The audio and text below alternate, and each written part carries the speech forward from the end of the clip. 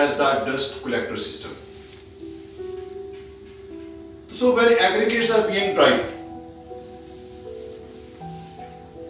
due to this heating and the revolving operation, some dust is always attached with the aggregates. If it is not properly controlled, there will be the too much pollution in this area. So in order to control this dust collector system, so keep this in mind, all batch plants are equipped with emission control system. All the plants are equipped with emission control system. It means my plant has the emission control system.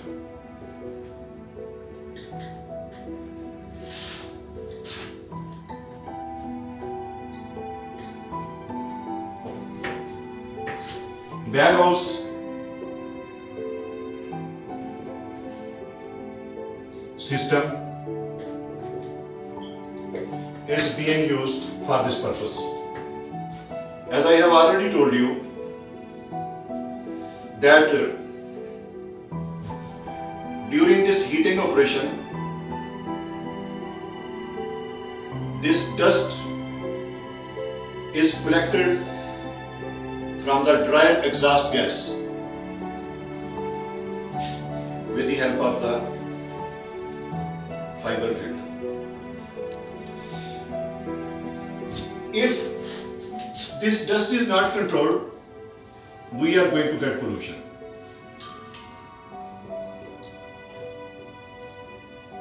And best operation is to control the pollution.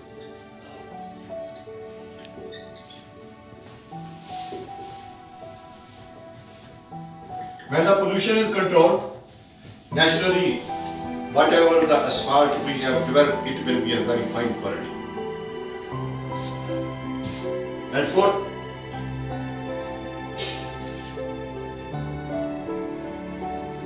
this fabric system which we have used over here, it works just like you can say that uh, vacuum cleaner.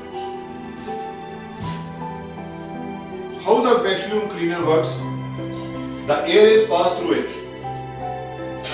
The dust remain on one side, the air is passing and going to the other side. So, so this fabric used over here is just works like vacuum cleaner. This dusty type of the air is made to pass through this one. The particles remain on one side and then the air is gone to the other side. And this dust collected is very much useful for us. Either as a whole or a partially, it is used in mixed as a, in the development of a asphalt mix as a filler. So that's why this dust collect. And I have made one very sketch. So far your just uh, introduction I will show you. This dust collector is shown over here you can see this uh, picture for the, this collection of this dust. And uh, its block diagram. When I had made I had already shown it to you uh, about this dust collector detail. The hot aggregates coming from the dryer. Are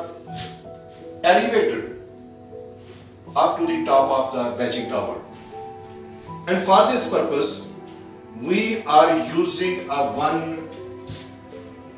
equipment known as elevator bucket.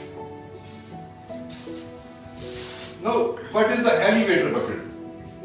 Let me explain it to you.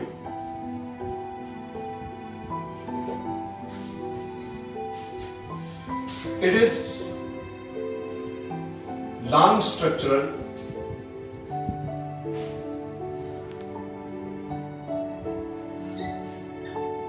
end like this. Having the pulleys over here.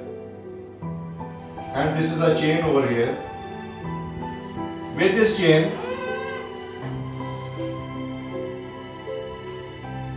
With this chain the buckets are attached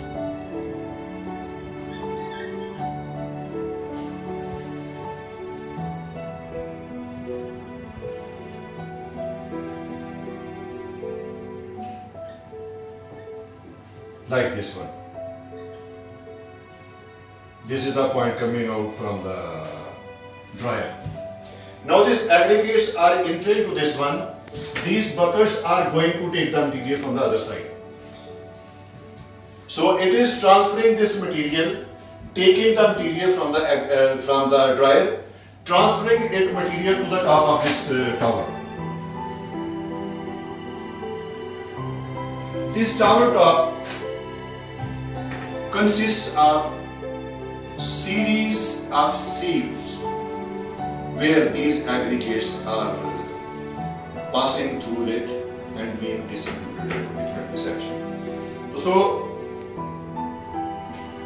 this is the just brief introduction and its speed is also controlled and its speed is also monitored when this chain or when this belt is moving that the aggregates are being taken and how the aggregates are fed at the top of the tower. The aggregates when it falls under the top of the tower they are actually falling on the vibrating screens. So this blended aggregates is coming from uh, this uh, bucket elevator. It is when it is made to fall on the screen, the screens are not straight. It is little inclined like this one.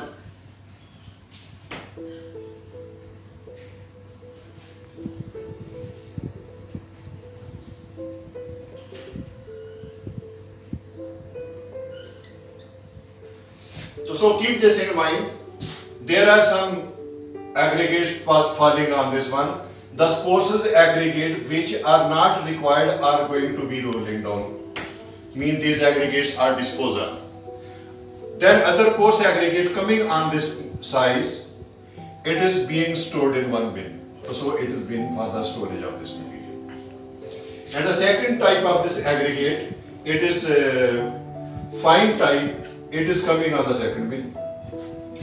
Then we have the another type of this material. It is made to fall and stored over here. And then from this, some aggregates are stored over here and other are aggregates stored in this one. So from here we can see that 1, 2, 3, 4, 5 bins, 4 or 5 bins we are using for the store uh, for the storage of the hot aggregate. When we are using this hot aggregate storage, we can say that these are known as the hot bins. So, so aggregate stored, that means uh, aggregate stored in these bins, this is my aggregate in each bin. These aggregates are not stored permanently. These aggregates remains only their bins unless we take material from them for making the blend of the aggregate before we pour down for the mixing. So, just keep in mind, this is the vibrating screen, coarser aggregate are being removed out. So, this aggregate which is coarser size, it is being removed out. Remove out means it is not required. For example, let me say you, suppose okay, we have got some aggregate whose size is more than 40, uh, 40 milli. 40 milli is not part of my design. So this sieve can only allow the aggregate which are less than 37.5. It means which is greater than 37.5 will be gone out. The other material which is less than 37 will be going out. And maybe this is the 20 mm sieve and all the aggregate passing are coming over here and these are stored over here. And other aggregate coming are stored over here. Similarly like this one. This is our uh, operational principle for this one. So it is not going to store this material permanently, it's going to store for a very short time. And second, these sieves, very important, these are always checked. Why? Because their orientation, their shape and operational property should not be disturbed. That's why and thank you very much for seeing this video. Now for the other remaining parts of this work we will carry on in the